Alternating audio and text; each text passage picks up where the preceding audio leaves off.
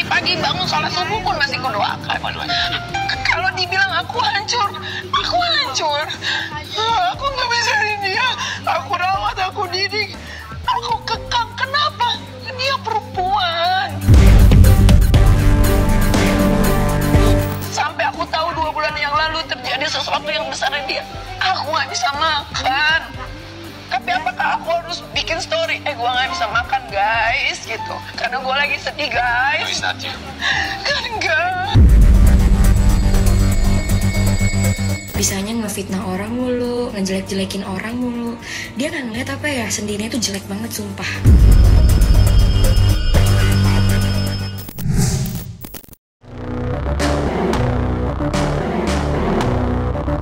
Seakan tak gentar menghadapi badai hinaan warganet, Mail Syaputra kembali muncul dan menguak fakta terbaru terkait pertikaiannya dengan Loli.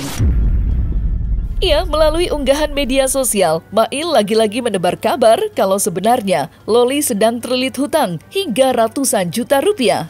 Mengingat untuk uang makan sehari-hari saja Loli pun tak punya. Aksi itu sendiri dilakukan oleh Mail lantaran Loli terus menuding dirinya sengaja mencari popularitas lewat kontroversi ini. Mirisnya, Loli tak sedikit pun mendapatkan dukungan dari sang ibunda. Sebaliknya, Nikita malah lantang memberi support pada Mail. Karena baginya, semua ucapan Mail adalah benar dan sesuai dengan apa yang sebenarnya terjadi. Pasalnya, Nikita sendiri mengaku telah mengetahui isu kehamilan Loli sejak lama. Sontak saja, semua keributan ini seketika menghadirkan syakwa sangka yang akhirnya muncul di benak netizen. Apa yang sebenarnya terjadi hingga kini tidak ada yang tahu. Parahnya lagi, sebuah isu lain pun ikut menyeruak ke permukaan di mana banyak yang menuding kalau sebenarnya Lolilah yang sengaja membesar-besarkan masalah ini guna memancing endorse di media sosialnya. Kenapa itu anak tiba-tiba ditanya komentar sama netizen itu anak ngomong Iya si babu, Mail kan babu. Kenapa? Kalian tahu nggak kenapa? Karena dia lagi sepi endorsan. Ya, dia memutar cara, memutar otak bagaimana cara supaya di viral lagi. Karena dia harus bayar apa? Dia harus bayar tempat tinggalnya, dia harus bayar makannya, dia harus bayar kesenangannya, dia harus bayar tukang semir kuliahnya. Paham kalian? Nih, sekalian aja gue buka. Biar kalian jangan ngeyel ngata-ngatain gue seenak jidat lu mau ngatain gue apa pun terserah tapi kalau gue dikatain ibu jahat wah gue tersinggung tersinggung Menurut aku tuh Mail orangnya tuh suka ikut campur, sosokan, fitnah-fitnah mulu, ya. Kan kalau nggak kayak gitu dia nggak makan. Dia kan kalau kayak gitu disuruhan. Dia kan itu kayak gitu menjalani tugas. Kalau kayak gitu. kalau nggak kayak gitu ya nggak makan dia. Emang kerja dia apa selain ngebabu? Selain jadi asisten, bisanya ngefitnah orang mulu, ngejelek-jelekin orang mulu. Dia nggak ngeliat apa ya, sendirinya tuh jelek banget sumpah. Mail itu bukan cuma sekedar kawan dia itu sudah seperti keluarga dan sama keluarga gua juga dia sudah dianggap seperti keluarga jadi kalau ada yang ngatain Mail itu babu kayaknya dia harus berkaca loh Mail gitu-gitu penghasilannya. Orang yang kerja di kantor punya orang yang kerja di kantor punya jabatan aja nggak bisa ngalahin ma gajinya Mail satu bulan. Itu baru dari IG dari IG aja dia bisa dapat 100 terakhir gue lihat transfer dia dari Instagram ditransfer ke rekening, ke rekening dia itu 107 juta terakhir Lagi juga Mail lu tuh pasti di situ karena lu tuh kayak gitu karena disuruh kan, iya kan. Lagi juga lu kalau kayak gitu pasti dibayar juga kan. Gue mah kasihan sama lu tau gak sih? Lu mau gue ini gue bayar juga mau. Gue punya kok uang mampu juga gue untuk bayar lo. Mail, lu kalau pengen gue bayar lo sini kerja sama gue bisa kok mampu gue. dan Mail tidak perlu pansos karena sebelumnya dia pernah ikut almarhum Olga Saputra itu lama lama sekali bahkan dia jadi orang kepercayaannya almarhum Olga berarti kan dia orangnya jujur dulu Mimi Mimi Olga waktu masih hidup Mail adalah salah satu manusia yang tahu pin ATM-nya Mimi Olga. Saat itu Mimi Olga tuh pertama kali gue diliatin apa ATM-nya Mimi Olga. Pas lagi ngambil uang gue lihat uangnya itu ada puluhan miliar dan Mail adalah salah satu orang yang dipercaya yang tahu pin ATM-nya Olga Saputra. Berarti dia orangnya apa? Jujur kan? Sementara itu, tak bisa dipungkiri bahwa meledaknya isu kehamilan Loli telah mendorong masyarakat untuk menyorot tajam peran Nikita Mirzani sebagai sang ibunda. Tak ayal, berbagai rupa caci maki pun dilontarkan ke arah Nikita. Seolah jengah dengan itu semua, tangis Nikita Mirzani pun akhirnya pecah seketika. Ia ketika hadir menjadi bintang tamu dalam acara di salah satu stasiun televisi swasta, wanita kelahiran 1986 itu pun mencurahkan semua jeritan yang sudah lama membelenggu langkah kakinya. Mulai dari betapa hancur hatinya mendengar isu kehamilan Loli, hingga pertikaian dengan sang buah hati yang seolah tidak ada habisnya. Dalam kesempatan itu, Nikita pun sempat angkat bicara terkait betapa keras perjuangan hidupnya menapaki terjalnya langkah kaki sebagai orang tua tunggal. Itu tanggung jawab sebagai ibu. Sekarang saya balikin. Tanggung jawab sebagai anak apa selain belajar? Gitu. Jangan dikit-dikit ibu yang disalahin. Tanggung jawab seorang ibu. Ibunya ini sendiri loh cari uang. Pernah nggak kalian tahu?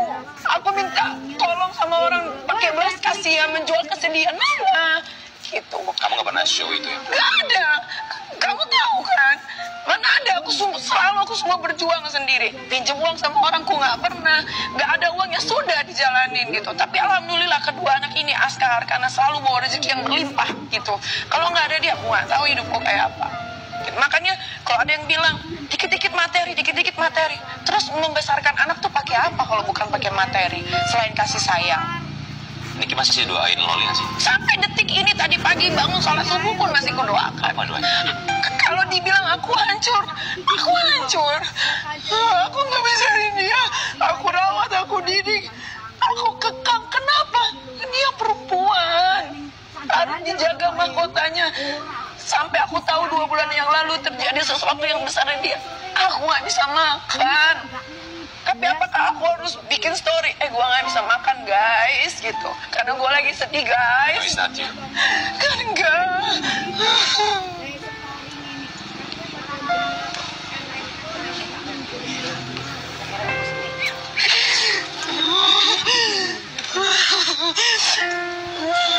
Kakak tahu lah, semua kakak tahu kan aku berjuang kayak apa. Aku nggak pernah minta dibela, gitu. Tapi jangan pernah ngatain aku. Aku ini punya anak bukan satu, aku punya anak tiga. Satu hancur, dua yang harus aku perjuangkan. Ya, udah hancur sudah hancur. Kalau sudah kurelakan sudah. Jangan lagi aku diungkit-ungkit di bawah-bawah sebagai ibu yang tak baik lah. Ngantarin kalau aku nganterin anak itu anak nggak mungkin bisa nginjek yuke loh. Bak seutas tali yang putus bila terlalu tegang, kesabaran seseorang pasti ada batasnya. Kira-kira hal itulah yang dapat menggambarkan perasaan Nikita Mirzani. Bagaimana tidak, setelah lama tampil kuat dan tegar menghadapi polemik panasnya dengan sang buah hati, air mata Nikita Mirzani akhirnya pecah juga. Hal itu seolah menguak fakta kalau isu kehamilan Loli benar-benar telah membuat hati Nikita hancur berantakan. Lantas seperti apa pandangan Dr. Bunda Romi terkait pertikaian tiada akhir antara Nikita Mirzani dan Loli dalam kacamata psikologi? Serta bagaimanakah pula Bunda Romi mengartikan air mata kekecewaan Nikita Mirzani yang akhirnya pecah dibuat isu kehamilan Loli? jelas memang kalau ibunya sakit hati dan sebagainya tapi kalau si anak ini berusaha untuk minta maaf lagi datang lagi berulang untuk kemudian membuat akhirnya ibunya lunak ataupun kalau nggak ibunya saudara-saudaranya itu akan jadi lebih baik. Kalau kesalahannya sudah besar tetap dilakukan beberapa kali dan berulang kali jangan dihitung. Tapi dia coba untuk kemudian dengan cara-cara berbeda untuk bisa mendekati kembali ke orang tuanya. Dan orang tua di satu sisi harus mengetahui tua itu masih tanggung jawab walaupun di dunia mengatakan ini bukan tanggung jawab lagi tapi kalau dia kemarin melakukan ini kesalahannya masih pada masa dia belum bisa dikatakan dewasa itu masih tetap tanggung jawab orang tua. Jadi sakit hati itu memang bisa dan menurut saya logis. Tetapi bahwa kemudian mengatakan bahwa saya nggak mau tahu lagi ya itu memang harus kita perhitungkan dulu juga tentang kemampuan anak ini untuk survive itu seperti apa. Bukan itu aja kemampuan anak ini untuk bisa kemudian hidup dengan cara yang benar bukan cara yang salah. Kalau kalian bilang, "Hmm, anak itu cermin orang tua. Tidak ada orang tua yang menginginkan anaknya menjadi bejat. Mungkin orang tua kalian kali. Kalau di keluarga saya nggak ada. Tidak ada anak, tidak ada seorang ibu yang mengikhlaskan mahkota anaknya direnggut oleh gembel. memang mungkin ini kita harus marah misalnya sebagai orang tua karena perilakunya itu tidak baik sehingga kemudian menyebabkan kehamilan. Kalau ini pun betul-betul ya terjadi ya dan kemudian mengutuk apalagi menggugurkan lagi itu adalah perilaku tidak baik lagi. Nah kalau kita lihat bahwa anak ini sebetulnya jadinya mungkin tidak bisa membedakan mana yang baik dan buruk dan kemudian kalau saya lihat mungkin tidak ada tempat bagi dia untuk kemudian berdiskusi bertanya sebaiknya seperti apa mungkin seperti itu. Nah mungkin dia harus dibantu oleh orang-orang lain di lingkungannya. Mungkin kalau tidak dengan ibunya, mungkin tante, eh, tante atau saudara atau adiknya, ya, kakeknya atau neneknya mungkin yang bisa membantu mengarahkan dia seperti ini.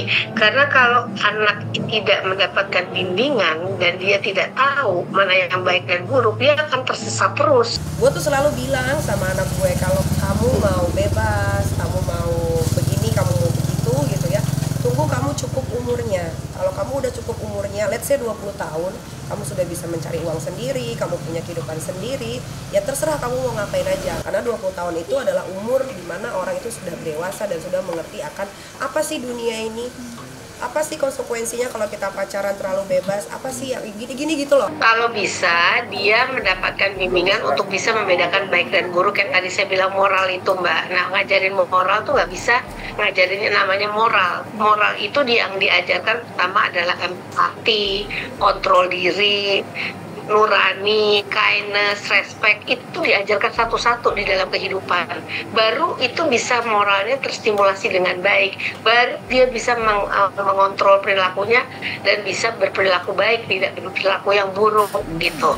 Dan kalau menurut saya itu kan harusnya dari awal kecil itu sudah ditanamkan shapingnya pembentukannya sudah harus ada dari kecil pada waktu dia besar itu kemungkinan ada dapat dari lingkungan tapi kalau di kecil di masa kecilnya sudah ada insya Allah dia bisa kemudian membatasi untuk hal-hal negatif yang terjadi setelah itu Waktu saya rawat, waktu saya rawat ya, itu anak bersih, ya, bersih, Masih ter- perawan. terawat, masih perawan, nggak ada video, nggak ada video, nggak nggak bawa kabur uang orang, terjamin hidupnya, Mau apa tinggal mau pindah. apa tinggal minta, dan saya tidak pernah memaksakan anak-anak saya untuk mengambil ekstrakurikuler yang tidak mereka inginkan.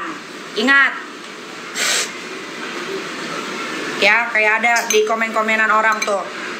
Ngerawat anak kan kewajiban. Nah kalau udah dirawat anaknya kewajiban anaknya apa? Patuh sama orang. ayo coba. Kewajiban anaknya apa Babak baru pertikaian antara Loli dan sang ibunda yang kini memasuki babak baru usai tersebarnya isu miring seputar kehamilan memang telah memancing perdebatan sengit di kalangan masyarakat. Mengingat kabar kehamilan ini harus menimpa Loli di usianya yang terhitung masih sangatlah belia, yakni 17 tahun. Ada pihak yang mendukung Loli dan menyalahkan perlakuan Nikita.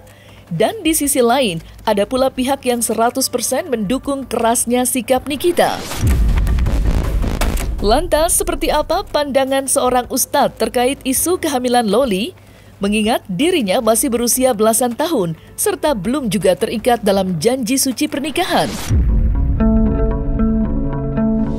seorang wanita yang hamil di luar nikah eh, tentunya itu apa namanya eh, sangat dilarang di dalam agama di Al-Qur'an disebutkan wala taqrabuz zina. Kita mendekatkan diri kepada hal-hal yang memicu kepada perzinahan saja kita dilarang.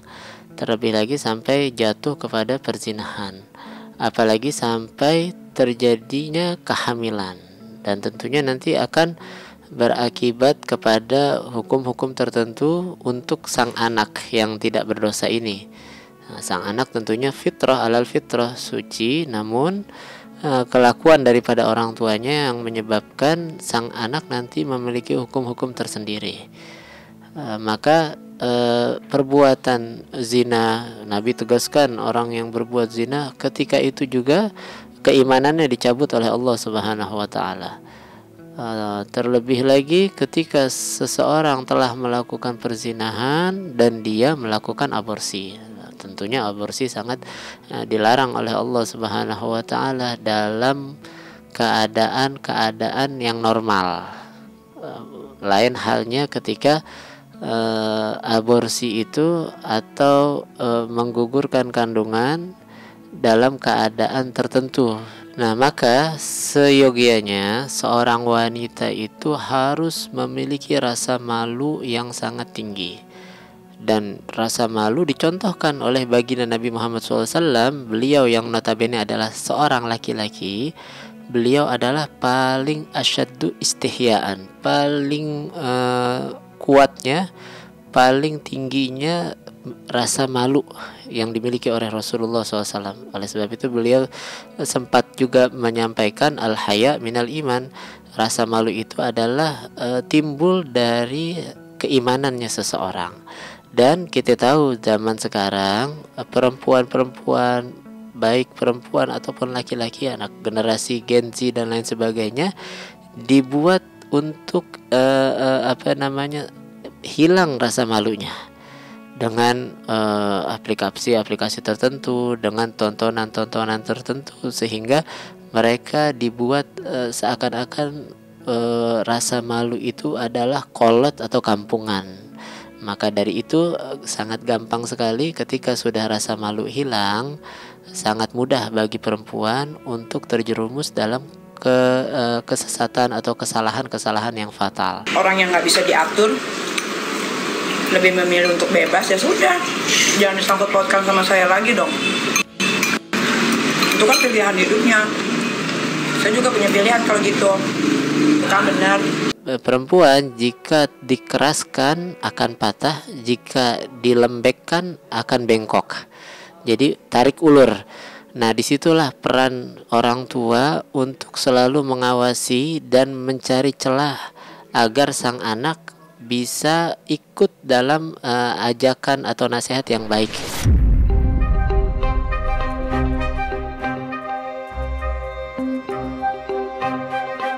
Nah, selesai sudah Cumi Lovers? Saksikan terus Cumi Camp In Depth, kabar lengkap, mendalam, dan akurat dari narasumber terpercaya. Dan jangan lupa untuk like, subscribe, dan juga share channel YouTube Cumi Cumi.